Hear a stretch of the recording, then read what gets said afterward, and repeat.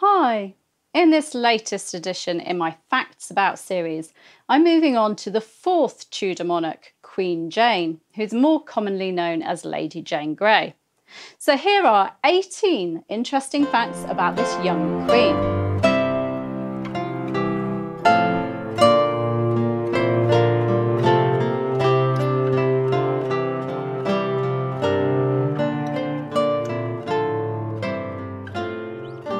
Number one, Lady Jane Grey was the daughter of Frances Brandon and Henry Grey, Marquis of Dorset, later Duke of Suffolk. She was the granddaughter of Mary Tudor, Queen of France, and Charles Brandon, Duke of Suffolk, and the great granddaughter of King Henry VII. She was also the great niece of Henry VIII and first cousin once removed of Edward VI, Mary I, and Elizabeth I. Number two, she was born in 1537 probably at Bradgate Park in Leicestershire. Number three, following Henry VIII's death and the accession of Edward VI, Jane became a ward of Thomas Seymour and so became part of the Dowager Queen Catherine Parr's household after Seymour married Catherine. Elizabeth, the future Elizabeth I, was also part of this household. Seymour had told Jane's parents that he could arrange a marriage between Jane and Edward VI. Number four, Jane received an excellent education and was an intelligent and studious girl. Her main tutor was John Aylmer, but she also met the top scholars of the day during her time living with Thomas Seymour and Catherine Parr. She also met famous reformists and humanists. She loved Greek and was a linguist with a knowledge of Latin and Hebrew, on top of the usual modern languages.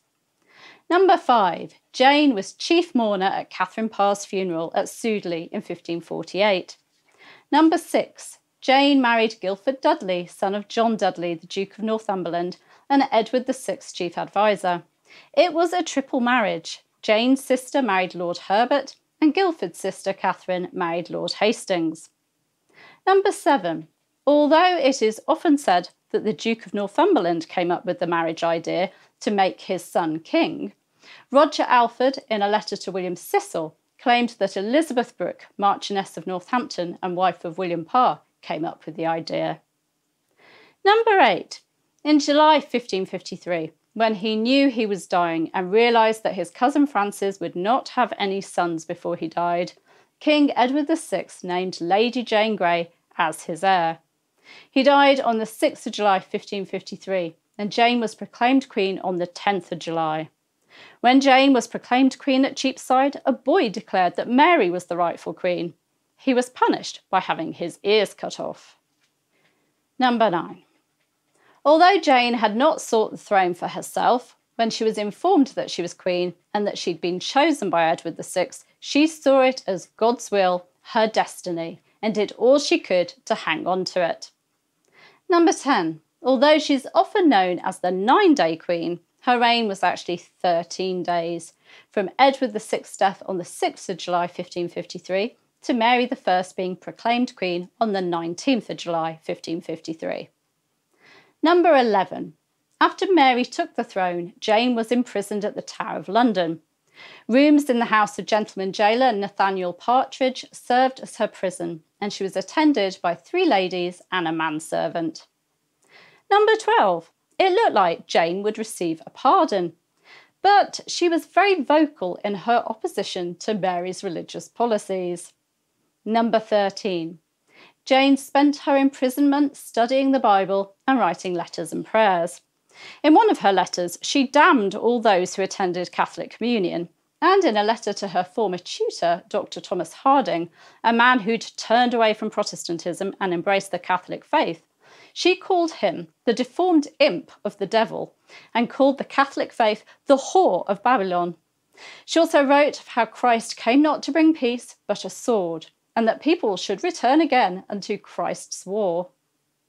Number 14. Jane was tried for treason with her husband Guildford Dudley, his brothers Ambrose and Henry, and Archbishop Thomas Cranmer on the 13th of November 1553. They were all found guilty and condemned to death.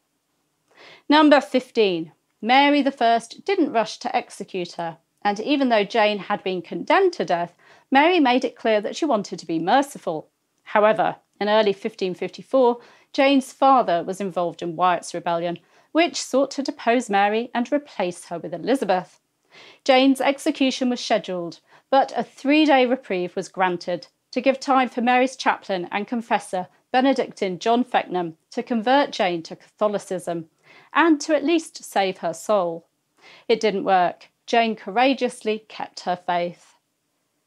Number 16. One of Jane's final letters was to her sister Catherine, encouraging her not to take the easy way out and convert to Catholicism, for that would damn her, and encouraging her to put her trust in God and to rejoice in Jane's death as she did, for she would have eternal life.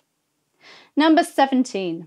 Jane and Guildford were executed on the 12th of February 1554 by beheading. Guildford on Tower Hill and Jane within the Tower confines. Number 18, the final fact. In the Beauchamp Tower at the Tower of London, among the carvings in the stone, is the word Jane. The Dudley brothers were imprisoned there, so perhaps Guildford was responsible for it. I'm always moved when I see it. Thank you for joining me. I hope I've surprised you with a few of these facts about Lady Jane Grey, or Queen Jane as I prefer to call her. You can subscribe to this channel by clicking around about there. You can hit the bell to be notified as these videos go live. And please do give me a like and leave me a comment if you wish. I'll see you soon. Bye bye.